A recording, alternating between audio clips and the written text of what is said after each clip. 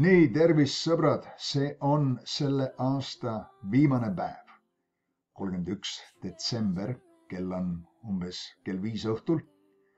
ja ma tahtsin jagada ühe kirjakoha koguja raamatust, mis ilmselt on üks minu lemmikkirjakohtadest. ma täna õhtul palve ajal kogesin, et see on tähendusrikas ja julgustuseks kellelegi ja see on üheksas peatükk, koguja raamat, ilmselt Saalomoni kirja pandud raamat ja salm üksteist, mis ütleb niimoodi. las ma panen prillid ette, et ma näeksin natukene targem välja. nii, vast juba näen. taas nägin ma päikese all, et jooks ei olene kärmeist ega sõda sangareist samuti ei olene leib tarkadest, rikkus mõistlikest ega menu osavaist, vaid aeg ja saatus tabab neid kõiki. see on huvitav, et siin ta loetleb oma ala tipptegijad. Kärme, kiire, siin ei ole mitte lihtsalt keegi, kes sörgib, jookseb longib kuskile, vaid siin on oma ala, tippmees, tippinimene. sõda sangareist. sangar on jällegi kangelane, kedagi, keda me imetleme ja keegi, keda me imetleme ja keegi, kes on tõesti omal alal väga-väga hea. tal on mitmed võidud selja taga, ta on tegija.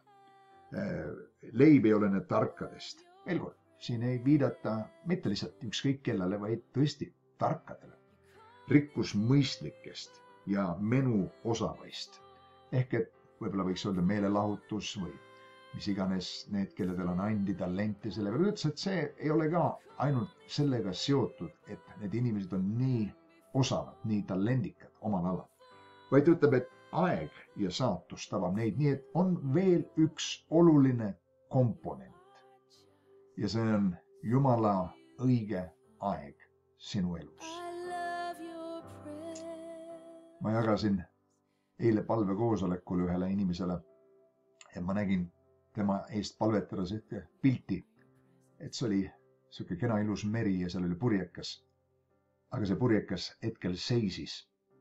ja ma tundsin, et jumal tahtis talle öelda, et on ajad, kus tuul ja purjekas sõltub tuulest, puhub ja see purjekas saab selle tuule jõudu ära kasutada ja minna selles suunas, kus tuul nagu suunab. aga on ajad, kus tuult ei ole. ja siis sa ei saa punnitada, sa ei saa lihtsalt teha midagi, milleks ei ole veel soodne hetk tulnud.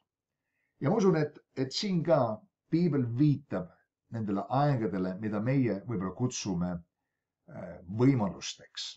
võimalus on ajamoment, ajaaken, mis avaneb üheks teatud hetkeks ja see on midagi, milleks on teatud tingimused välja kujunenud. selleks hetkeks on see soodne võimalus. ja kui sellest mitte kinni haarata, siis see liigub mööda. Õnneks elus uuesti tuleb uusi võimalusi. nii et elu ei olene ainult sellest, et me lihvime oma oskusi, et me teeme midagi väga-väga hästi, me oleme kõvasti ette valmistanud ennast meil on äh, kõrgele, kõrg, kõrge haridus ja, ja, ja tipptingimused. me vajame veel ühte olulist koostisosa ja see on õige aeg. ja ma kogen oma südames julgustada kedagi, kes mind kuulab. et sellel aastal kaks tuhat kakskümmend kaks Jumal tahab kinkida sulle vähemalt ühe saatust kujundava momendi. õieti sai vaja rohkem kui ühte momenti. Joosep vajas ühte momenti, et tulla välja vanglast ja, ja, ja jõuda Vaaro kotta, olles peaminister, juhtides ja korraldades kogu Egiptuse impeeriumi elu ja majandust. sa ei vaja meeldida kõigile, kõigile. sa vajad meeldida vaid ühele, õigele inimesele ja sinu elu muutub. Taavet ühel päeval on karjapoiss teisel päeval on nagu Iisraeli tuntum ja imetletum mees, kuna ta lõi maha koljati ja Saul soosis teda. sa vajad meeldida ühele inimesele ja ma usun, et Jumal on valmistamas neid kairos momente, neid võimaluse hetki, soodsaid võimalusi teatud asjade tegemiseks. kõik, mis ta ootab meilt, on hoida oma elu puhas ja, ja palvestundlik, et ära tunda need jumalikud momendid, nendest kinni haarata ja need realiseerida selleks, milleks need meie ellu on tulnud. nii nagu keegi kunagi ütles, et on kaks tähtsamat päeva inimese elus. päev, esimene päev on su sünnipäev ja teine päev on saada teada, milleks sa sündisid siia maailma.